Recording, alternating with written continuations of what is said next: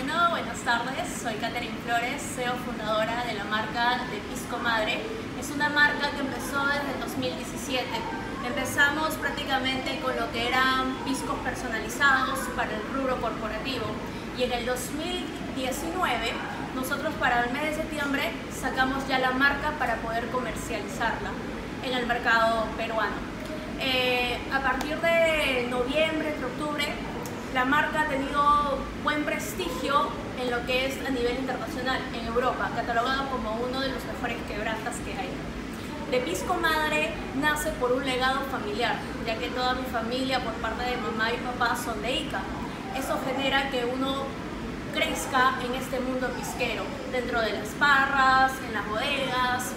Quiere decir que he tenido mucho el apoyo de mis padres, de mi familia de Ica.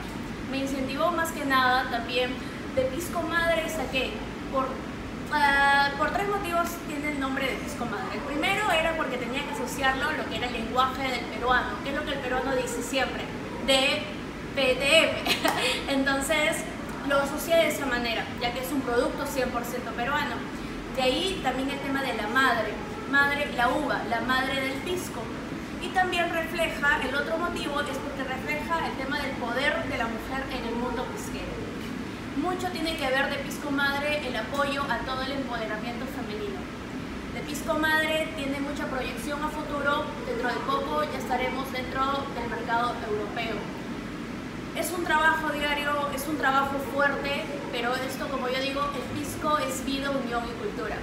Así que nosotros empezamos con el quebranta, con el que pueden visualizar ahorita.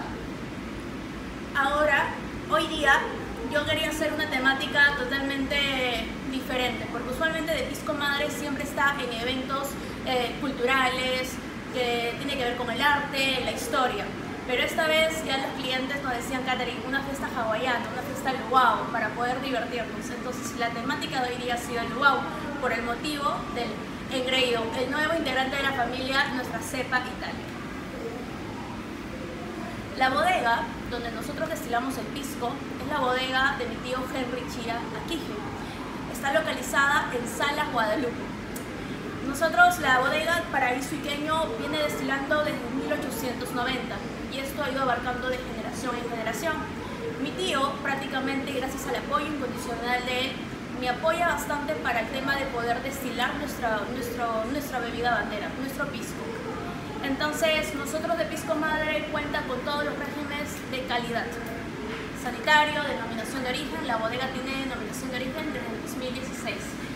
Es por ello de que ahora como jóvenes, porque ya que yo empecé a los 23 años en el mundo pisquero, tengo 26, 3 años en el mercado, de lo cual de Pisco Madre está reflejando mucho el apoyo a la mujer en el mundo del pisco.